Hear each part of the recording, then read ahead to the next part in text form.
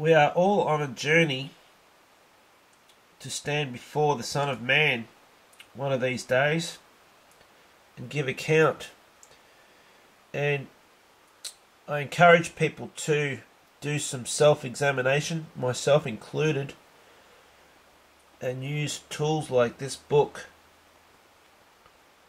in order to get our lives right before God.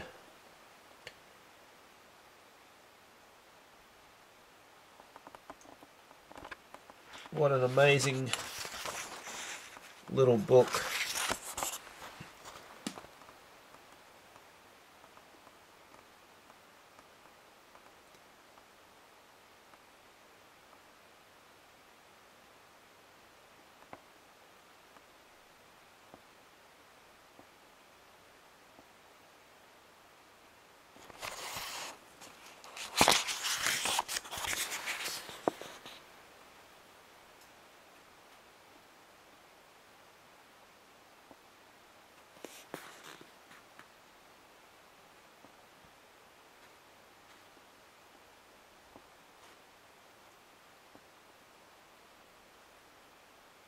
The tongue, there's power of life and death in the tongue.